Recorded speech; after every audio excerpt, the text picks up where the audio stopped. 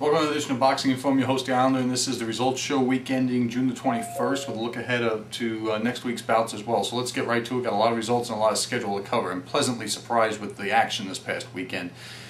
Uh, back on the 19th, ESPN2 from Laredo, Texas. Uh, this is not something I got to see, and this is because college baseball, for those of you who are overseas and don't know what ESPN is, it's our kind of like all-day, all sports uh, channel, probably something like Sky or uh, I don't know what you have, oh, Setanta, something like that, but it, it, it's round the clock and there's multiple channels of it.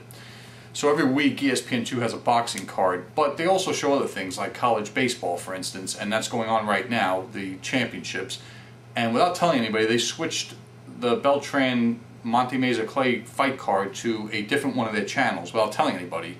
So as I went past there, I saw the baseball was on, and I went right to Versus to see, you know, the other fight. Well, the results for Beltran was he threw over 1,300 punches and landed, I think, over 30% of them. And Monty Meza Clay threw over 1,000 punches over the, over the uh, 12 rounds and scored a 20-something percent connect ratio.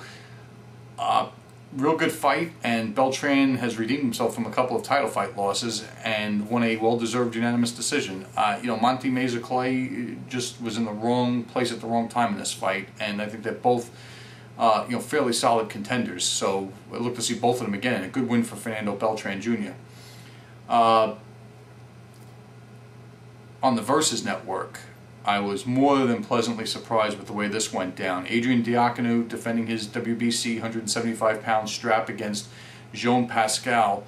And, you know, the thing is, I was not too high on Jean Pascal. I know I picked him to, to get by in this fight like he did.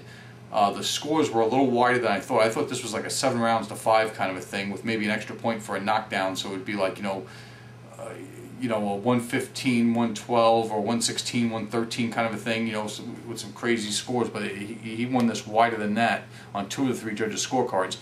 Uh, it's going to be a candidate for fight of the year. It's going to be a candidate for round of the year, round five, because what happened is traditionally, like everybody thought, Diaconu came at him, stalking him, Pascal did not run from Diaconu. He flurried and moved, reset, and did it over and over again. There was no running. Uh, you know, the thing about this is, and what has really impressed me with Pascal against um, Carl Froch over in England, and again in this fight, is that he, when the going's gotten tough with the competition, him stepping up the competition, he is manned up.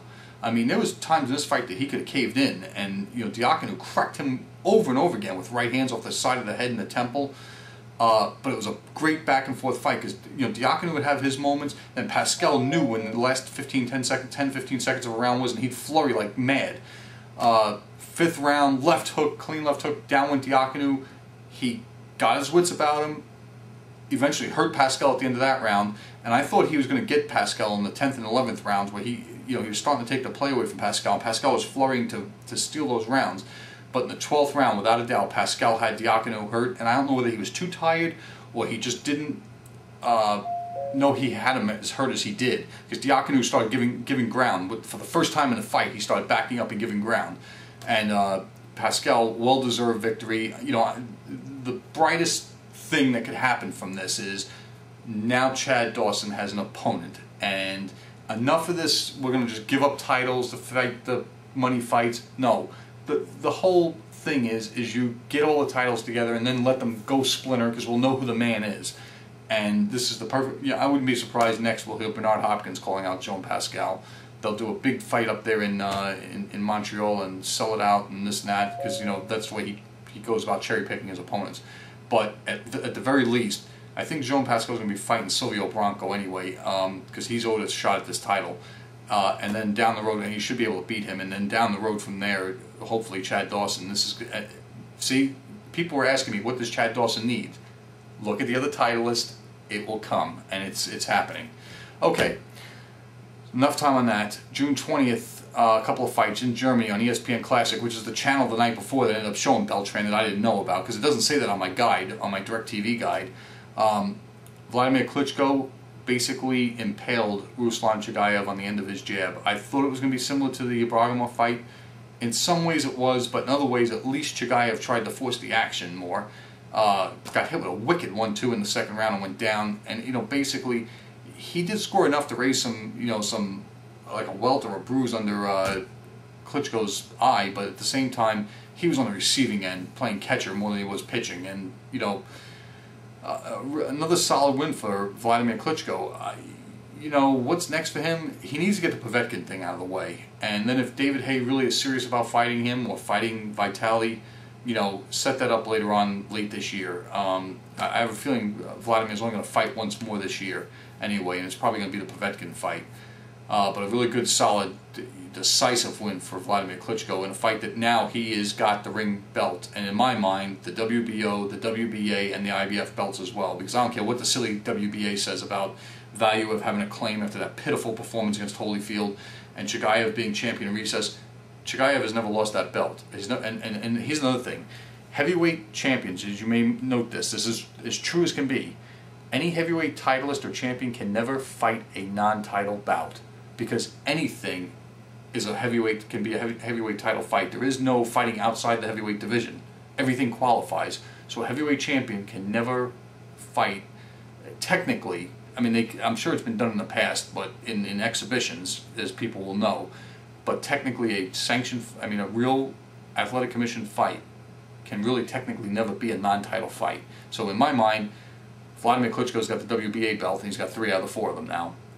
And, and, and, and Valuev is inconsequential. Okay, Monterrey, Mexico. Edgar Sosa scored an impressive fifth round TKO. This is another one that I had to watch on internet feed, or I should say video, against Panama's Carlos Melo.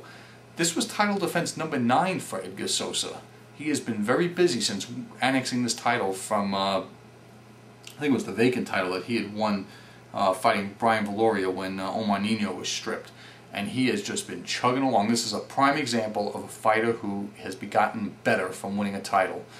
And Sosa, at the same, you know, at the same time, we look at it, he, scored a vicious left hook to the body that sent Melo down, and he followed up, and they stopped the fight not too long after that in the fifth round. I, you know, I'm not sure who his promoter is, but they need to get him in another high-profile fight and possibly a unification fight with and a rematch with Brian Viloria, who looks like he's rejuvenated. Uh, he has already fought. Um, I'm trying to think who. Uh, he's got five losses, but they're to quality. Most most of them to quality opponents. So it's going to be interesting in that division. All right, real quick. This coming weekend, June 26th, Friday night fights on the ESPN. Danny Jacobs taking on George Walton, 10 round middleweight fight. I'm going with Danny Jacobs here. It's coming from Tucson. Hopefully ESPN won't move it around like they've done the last couple of weeks. Uh, going with Jacobs here. Rama, Ont Ontario, Canada. This is not on TV, at least that I know of and his tentative scheduling. Stevie Molitor making his comeback from his four-round blowout at the hands of Celestino Caballero, taking on Heriberto Ruiz in a 12-round, 122-pound fight. In Chicago, also not televised, tentatively scheduled, Fres Oquendo is taking on Mark Brown in a 10-round heavyweight fight. Look for Fres to pull that one off. In Buenos Aires, Argentina, also Friday night, not televised here in the United States, Omar Narvaez, I believe he is making title defense number 15 or number 16 against Omar Soto. I believe it's, it's probably his 16th title defense. He is, I don't know if he is boxing's longest reigning champion, but he's definitely up there in the number of title defenses now. And some of you scoff and say he's not fought anybody, and you know it's like, the, you know, but he, fought the guy from Georgia in his last fight, um, Rayon Raynow Rayon Whitfield. So he's fought somebody I've seen fight um, in any event. So he just keeps chugging along, and I really would like to see you know these fighters get together and unify. I'm going to go with Narvaez in this fight, although you never know when he's going to have a letdown. Uh, the next day, June 27th, and there's been some changes, and I got to go through this real quickly. Top rank pay per view. Juan Manuel Lopez defending his WBO 122 pound belt against Olivier Lontchi. Lontchi. By the time we learn how to pronounce his name correctly, he's going to be gone probably. Look for Lopez to score a stoppage in this fight. Uh, how early, I don't know. Don't bet on a first rounder, but it's not going to. I don't think it's going to take too long. Yuri Foreman, Jorge Arce, and Demetrius Hopkins are also going to be on this card. I'm not sure how much they're selling it for, but it's it's out there on uh, Saturday. Also Saturday, Los Angeles, HBO, there's been some changes. Victor Ortiz is still fighting Marcos Maidana, Maidana for the vacant WBA interim 140 pound belt that's all held by Andreas Kotelnik, and his, his fight's been postponed against, you know, uh, um, Amir Khan um, is one of the many that's been postponed. They're fighting for this belt. Rocky Juarez was slated to fight against Chris John. Chris John has pulled out, and it's serious. He collapsed, had a fainting spell in training. They rushed him to the doctor, had a blood test, and found he has a blood condition. It might be something like anemia, but he's not going to be fighting anytime soon. They're trying to get another fight for Rocky Juarez. They threw around some names, but I don't know if HBO's approved it. Also, Showtime, same day coverage in Berlin. Arthur Abraham defending his IBF 160 pound strap against someone named Mahir Oral. Uh, I'm expecting Abraham to win this fight. Don't look for a letdown, and we'll see how that goes. Uh, so I've got Abraham, I've got Narvaez, I've got Fres Oquendo, Steve Molitor, Dane Jacobs, Victor Ortiz, and Rocky Juarez. That's going to be it for this show. Thanks, everybody.